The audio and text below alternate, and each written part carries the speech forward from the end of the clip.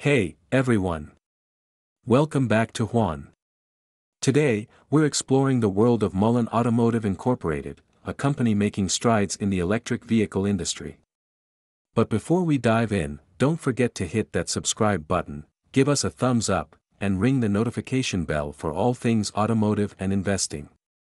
Background Host Mullen Automotive, known for its electric vehicles, has been gaining attention in the market.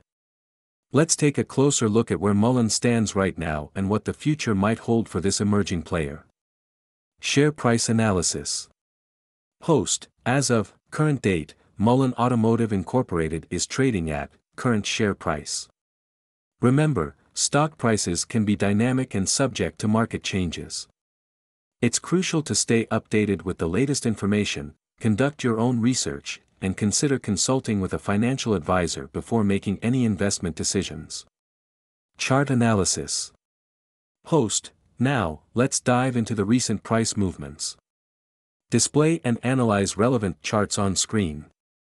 Host, analyzing the charts can provide us insights into the recent performance of Mullen stock.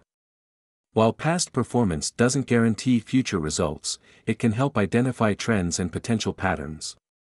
Future targets. Host, what about the future targets for Mullen Automotive Incorporated?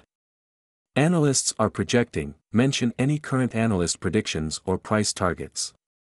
Keep in mind that these projections can be influenced by various factors, so it's crucial to stay informed and regularly check for updated analyses. Recent developments. Host, recent news and developments within Mullen can significantly impact its stock performance.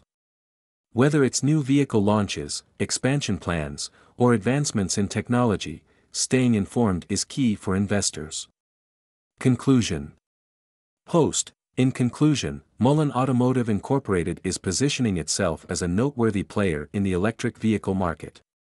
While the company shows promise, it's essential to conduct thorough research, stay updated with the latest news, and consider your own investment strategy and risk tolerance.